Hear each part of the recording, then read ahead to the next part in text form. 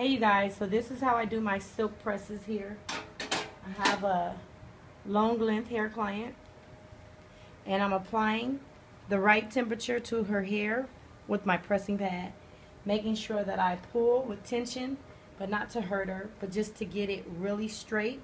As you can already see, the natural oils that are already on the hairline, on, on her hair shaft.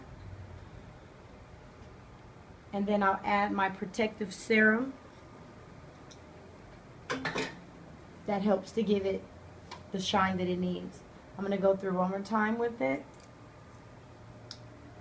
I make thin slices, not too thick, not too small, just enough in between. I still use a pressing comb. Some people use ceramic irons. And I pull one long stroke. And as you can see, it's really smooth. One long stroke.